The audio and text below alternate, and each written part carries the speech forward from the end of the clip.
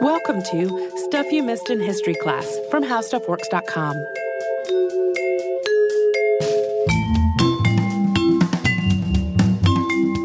Hello and welcome to the podcast. I'm Holly Frey. And I'm Tracy V. Wilson.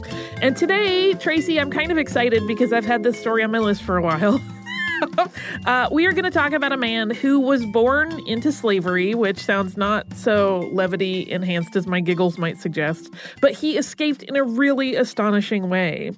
And his story of how he gained his freedom was so sensational that he basically spent the rest of his life making a living talking about it in one form or another. So today we are talking about Henry Box Brown, and we're just going to jump right into his story. Yes. So he was born in 1815 or 1816.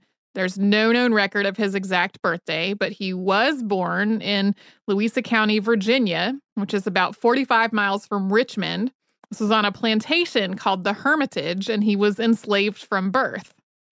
And in his account of his life, Henry talked about uh, an incident where he would carry grain 20 miles to a mill several times a year as a boy. And those trips, which he took with his brother, were also fact finding missions where the two boys would get information about the other enslaved people that lived nearby and any other news going on in Virginia. And on one such trip, the boys met a large group of enslaved men and they spoke with them, and they started to realize that the two of them were in a unique situation. The boys had clothes and they had shoes, and the other enslaved men remarked upon them uh, as something that they did not have. And the boys also heard enslaved men being beaten. They were also asked by a white man whether they had ever been whipped, and they replied that they hadn't. And that caused this white man to reply that they would never amount to anything.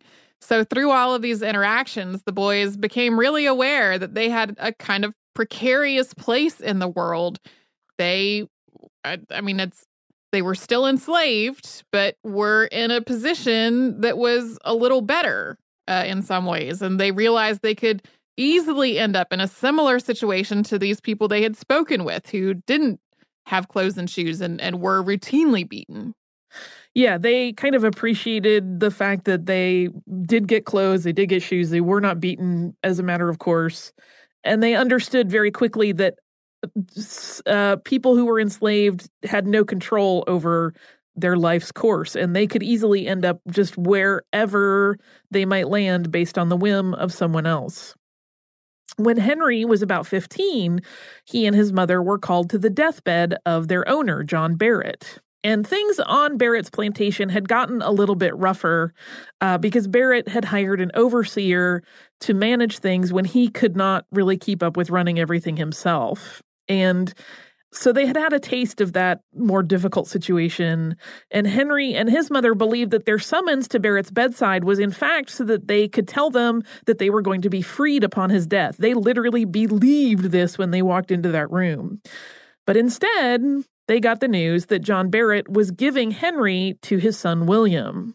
And with Barrett's death, his estate was divided four ways among his sons, and Henry's family was torn apart in the process.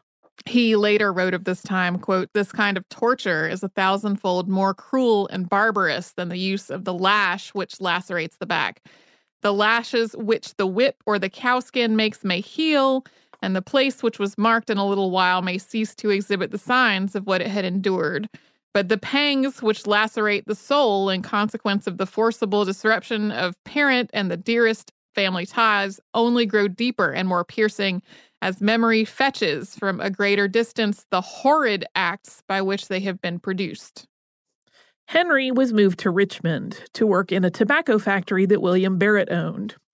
William assured Henry that if he worked hard and he behaved that he would be taken care of and he would also be paid a small bit of money. William was overheard at one point by Henry telling the overseer at the factory that Henry should never be whipped, that he had been raised by William's father, and that he was a very smart boy. In 1831, Henry witnessed the aftermath of Nat Turner's rebellion, in which more than 60 black men, some enslaved and some free, had killed more than 50 people. After the rebellion, there was a lot of retaliatory violence against enslaved people, Henry later wrote about witnessing many people, quote, whipped, hung, and cut down with swords in the streets and worse. He asked William Barrett what was happening and was told only that some enslaved men, quote, had plotted to kill their owners. Henry only figured out long after the fact that he had seen this famous rebellion. In 1836, Henry wanted to marry a woman that he had met named Nancy. Nancy was also enslaved, but she was owned by a man named Mr. Lee, who was a banker, and not William Barrett, who owned Henry. So Henry spoke with Mr. Lee, who said that he had no intention of selling Nancy, and that if William Barrett could say the same of Henry, that he would approve the marriage. So Nancy and Henry were married, but just a year later, Mr. Lee reneged on his promise. He sold Nancy to a saddler named Joseph A. Colquitt. And Colquitt and his wife treated Nancy far worse than her previous owner had, and after a great deal of animosity, particularly on the part of Mrs. Colquitt, Nancy was sold once again. But the Colquitts soon bought her back when they realized just how much she had been doing for them. Eventually, she was sold once again, but this time the man who purchased her, Samuel Cottrell, cut Henry a deal that if Henry regularly paid him $50, he would let the couple and their children live together. Henry, of course, had to arrange and pay for a home in addition to the regular annual payments that he had to make. Yeah, this is like one of those situations where, in effect, Cottrell couldn't make the initial payment to purchase Nancy outright. He was short, and that $50 made up the gap.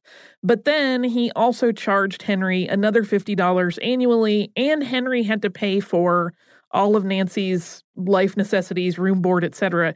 So Cottrell was basically getting paid to keep this woman enslaved by her husband um, because it was the only way that Nancy and Henry could be together. And it was during this time that Henry met James Caesar Anthony Smith, a free black man that he knew from church. And James helped Henry find a home where he and Nancy and the children could live because at this point they had several. Uh, James C.A. Smith arranged for the rental of a home in his own name at $71 per year for the Browns. And for a while, though Henry was basically being extorted by Cottrell to not sell Nancy, they were living happily as a family. In 1848, the Browns had been married for 12 years. They had three children and a fourth on the way. And then Cottrell abruptly sold Nancy and the children who were all immediately removed from their home and taken to a prison for holding until the next day, at which point they would begin a journey to North Carolina. In addition, he had all of the Brown family's possessions seized for auction. Henry begged his owner to buy his family, but he got nowhere pursuing that line of thinking. He managed to buy back some of their things with the small amount of money he had, but he could only watch as his family, along with several hundred other people, were marched down the street to begin this journey to North Carolina. And as his wife approached, Henry took her hand and he held it as he walked for approximately four miles with the group before they were parted for good. One of the themes of Henry's account of his life is the discussion of the hypocrisy of the white men who would call themselves Christian and still engage in slavery. I feel like this has made several appearances on the podcast, including in our recent episode on Phillis Wheatley. After his loss of Nancy and the children, his own faith was not shaken, but he believed that slave owners could not truly be men of God. That forced separation, after such a constant state of shifting assurances from owners, catalyzed a fervent desire for freedom in Henry. He had been lied to and toyed with, and finally had what was most important to him taken away, and he was intent on ending his own enslavement. We'll talk about Henry's bolt of inspiration for his escape plan after we pause for a quick sponsor break.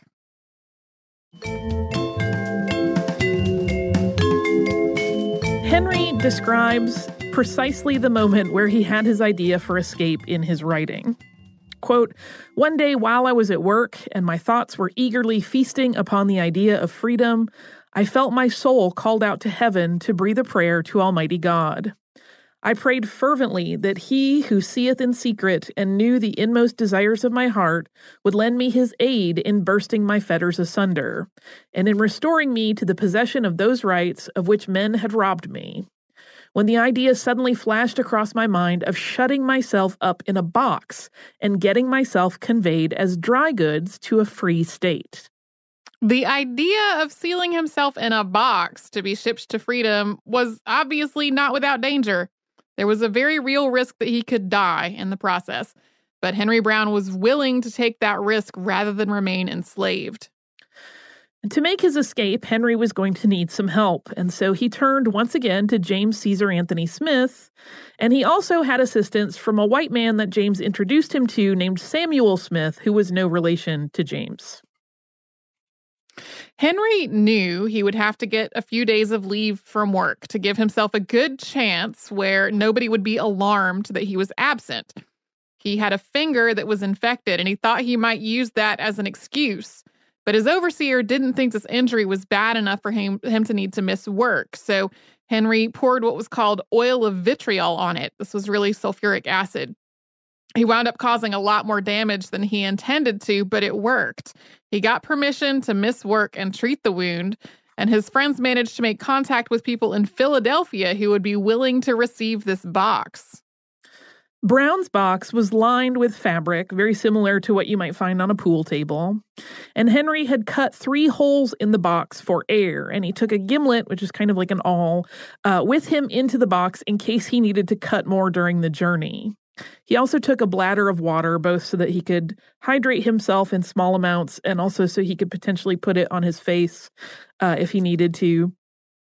And this box was, according to Henry's account, three feet one inch wide, two feet six inches high, and two feet wide.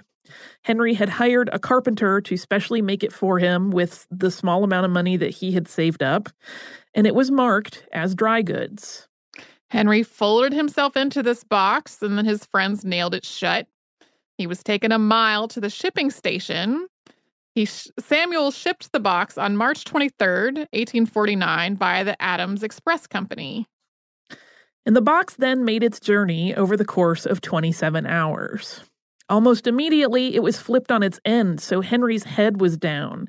And then, when he was moved from a wagon to a baggage car, it landed on its side, which was a little more comfortable. But when he was placed onto a steamer at Potomac Creek, he once again was stood on end with his head down.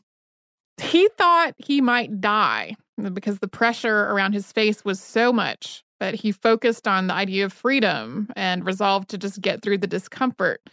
As he was becoming convinced that his life really was in danger, two men on the steamer shifted the crate to its side to use it as a seat. After some additional jostling and being tossed around and put into a position that was bottom end up again, he finally came to rest in luggage storage at the train depot until a gentleman came to ask about the box and collect it. To me, it sounds so ter- terrifying one, to be shut up in a box, but two, the idea of being stood head down for hours on end like that is so scary.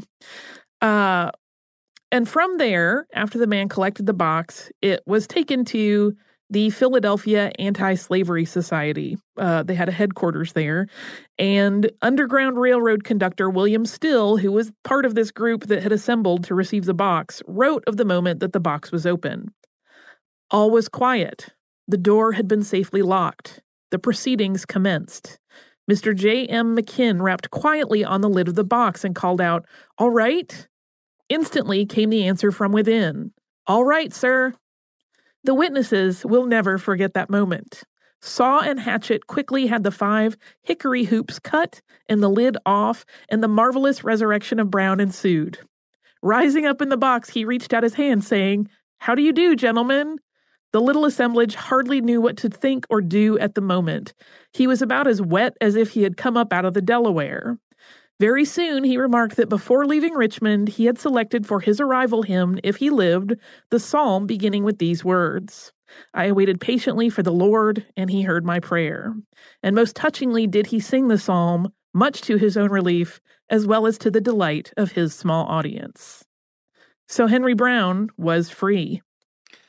The success of Brown's escape also really caused a rift among abolitionists. There were people who wanted to publicize it as a victory for the anti slavery cause, and these folks thought that it might inspire similarly creative ideas among enslaved people and their sympathizers. But other people, including Frederick Douglass, thought that it should be kept a secret. If you've heard our episode on Frederick Douglass, he didn't want to publicize his own way of escape uh, because of the risk. Um, the logic was that if they didn't let word get out that Henry had escaped slavery in this manner, that other people could potentially be freed the same way. And Samuel Smith, who was the white man who had assisted Brown in Virginia, came to the decision as well that this shipping method should be used to free other enslaved people. So Smith, once again with the help of James Caesar Anthony Smith, made another attempt on May 8th of 1849, but unfortunately their efforts were discovered. Both men were arrested, although James Smith did not face any jail time for his involvement. He was kind of written off because, as a black man, they believed that he had not been smart enough to really be uh, a mastermind in this whole plan. But in November of that year, Samuel Smith was sentenced to six and a half years in prison. Ultimately, Henry, who was now nicknamed Henry Box Brown, became a public story. It was really not possible to keep the secret of such an amazing escape secret. Within a matter of weeks, he was well known within the abolitionist movement. Brown began touring, telling the tale of his 27 hours in the box to find his way to freedom. He first told the story at the New England Anti Slavery Convention in Boston at the end of May 1849, so just two months after he began. He also wrote his life story, including his daring trip to freedom. In actuality, this, inca- this account, which is titled Narrative of Henry Box Brown, was written largely by abolitionist Charles Stearns, who also published it. Henry Brown and Charles Stearns actually went on book tour together, and the proceeds from that book were used to fund a new lecture tour. And for his stage appearances, Henry Brown developed his act to add a panoramic painting that he had had commissioned titled Mirror of Slavery. And this painting was spooled across the stage, almost like a slideshow, to tell the story of how people had been stolen from Africa and enslaved, and what slavery in the U.S. was truly like from the enslaved person's perspective. His friend, James Caesar Anthony Smith, who had left Richmond after his arrest and release, joined him on stage for these presentations. The two men eventually had a falling out, however, and we'll talk about that towards the end of the episode. Next up, we're going to talk about how the Compromise of 1850 once again changed Henry's life. But we're going to take another quick sponsor break before we get to that part of the story.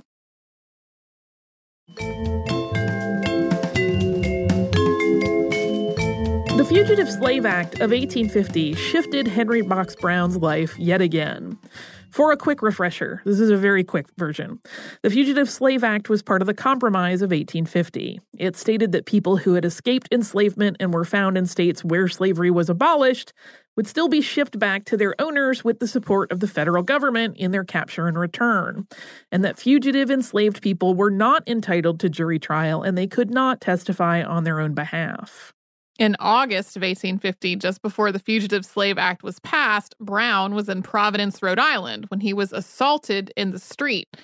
Was convinced him that it wasn't safe to stay in the United States, so he moved to England and took his stage show with him. He continued to perform his anti slavery act there, and he added additional dimensions to it. In 1851, Henry Box Brown also wrote a second memoir, this one titled Narrative of the Life of Henry Box Brown, written by himself. In truth, it is almost exactly the same as the first book, although it is written in less flowery prose and includes additional details.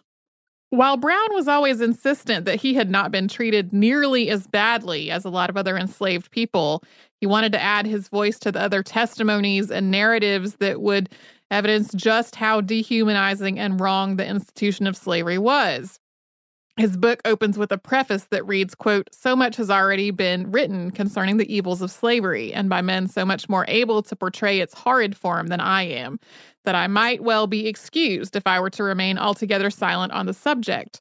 But however much has been written, however much has been said, and however much has been done, I feel impelled by the voice of my own conscience from the recent experience which I have had of the alarming extent to which the traffic in human beings is carried on, and the cruelties, both bodily and mental, to which men in the condition of slaves are continually subjected, and also from the hardening and blasting influences which this traffic produces on the character of those who thus treat as goods and chattels the bodies and souls of their fellows.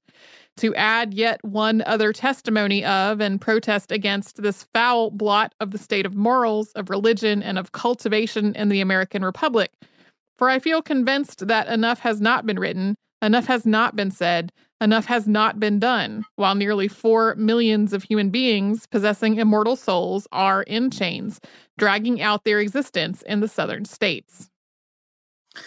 And just uh, for the sake of transparency, it is generally believed that Henry Box Brown did not actually write all of this, even though it is listed as written by himself, that probably he verbally spoke all of this and someone took it down and probably cleaned up the grammar for him. But it is basically the same story that he was telling on stage night after night after night. So it's corroborated in his his verbal history. It's not as though someone wrote a completely different version of his life. Uh, so for the next 25 years, Henry Box Brown lived and performed in England, and he also married a second wife there named Jane, and they started a family together. During that time in England, he continued to tell his tale of escape, but after his falling out with James Smith, his act became less about abolition and more about magic. He would perform sleight of hand tricks where he transformed a, a, nail into an acorn, and on occasion he would stage a reenactment of his box journey on stage, which played out like a magician's escape trick, but with the added gravity of recalling his harrowing escape. In 1851, he staged a large scale reenactment of his box escape when he had himself shipped from Bradford to Leeds in West Yorkshire. And it is actually unknown where Henry Box Brown first learned to perform magic tricks. It could well have been as far back as his childhood, uh, as something that was done among the enslaved people as entertainment. But as his act evolved, his knowledge expanded, and he started to transform himself into other stage personas. He would sometimes dress as an African chief and walk through towns that he was touring into as an advertisement for his shows, conjuring for this character version of himself a noble lineage, and all this done to entice an audience. He began to combine the worlds of magic and science as he and his act started exploring mesmerism and electrobiology. There's been speculation among Brown biographers that the use of mesmerism or hypnotism offered him a chance to try to control white audience members in a turnabout of the power dynamic from when he was enslaved.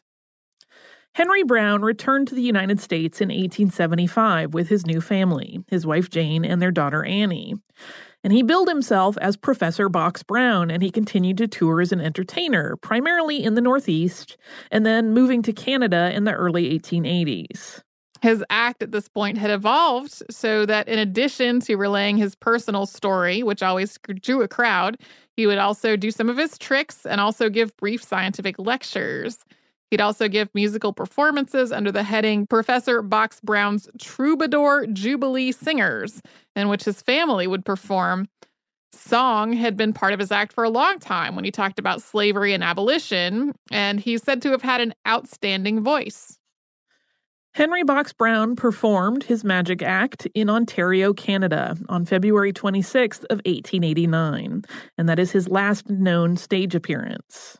For a long time, the date and place of his death were always recounted as unknown, and a lot of sources you look at will still say they are not known. But in recent years, Martha J. Cutter, a professor of English and Africana Studies at the University of Connecticut, started looking for documentation of the deaths and burials in the Toronto area and appears to have identified his death as June 15, 1897, including locating his grave at the Necropolis Cemetery in Toronto. Brown's wife Jane lived with their daughter, whose married name was Annie Jefferson, until she died in 1924. It's really not clear what happened to Henry's first wife, Nancy, and their four children together. We don't know if he sought them out once he was free or after slavery was abolished. And the fallout between Brown and James Smith that happened back in 1851 was in part due to Smith's criticism that Henry Box Brown hadn't tried to buy his family's freedom. Yeah, we don't really know that whole story, though. For all we know, he did look into it, or maybe he couldn't because it was too painful. We have no idea. It's really interesting. One of the things that that uh, scholar we just mentioned, Martha J. Cutter, brought up in an article I was reading was how, in a strange way, even though Henry Box Brown escaped slavery, he was sort of a slave to his own life story because he ended up telling it for decades and decades over uh, even after it had been long past abolition and not a tool to try to help educate people, but just became like part of this narrative that he had to live over and over, which was an interesting perspective to have. There's also a really beautiful version of this story from the podcast The Memory Palace. It's called Picture a Box. It's really fascinating. And he used the actual box that he was shipped from Richmond to Philadelphia in as part of his stage show for a long time. So there's this whole gravity to all of that. Like, I can't, I mean, again, it's from my perspective, which can't really understand his mindset at all, but like, I can't imagine having to like go through that over and over and relive what had to have been a terrifying, though ultimately successful experience. It's interesting to think about. I have listener mail. Yay, what is it? It's about Andrew Carnegie.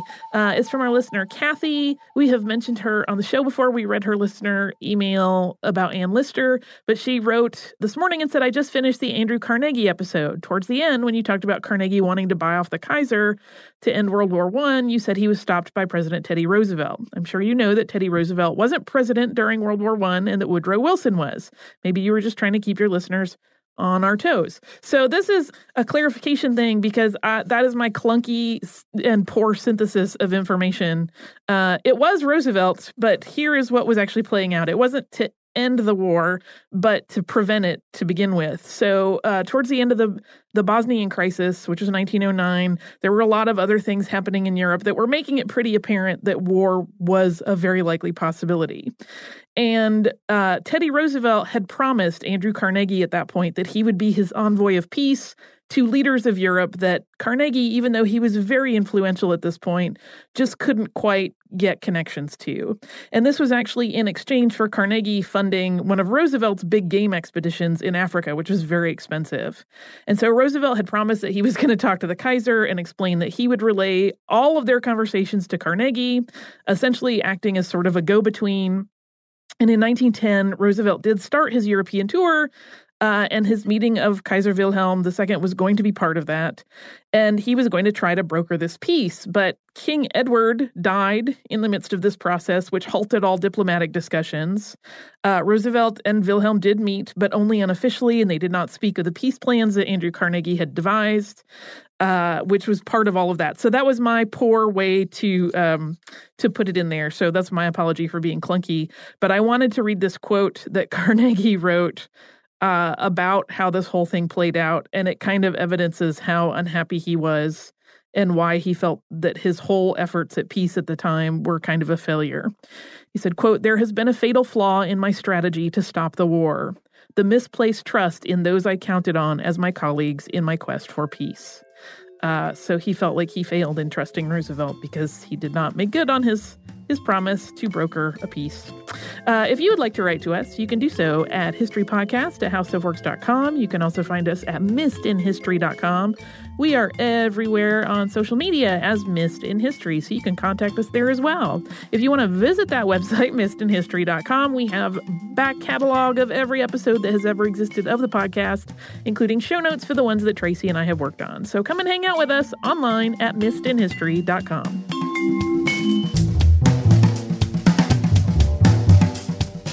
For more on this and thousands of other topics, visit howstuffworks.com.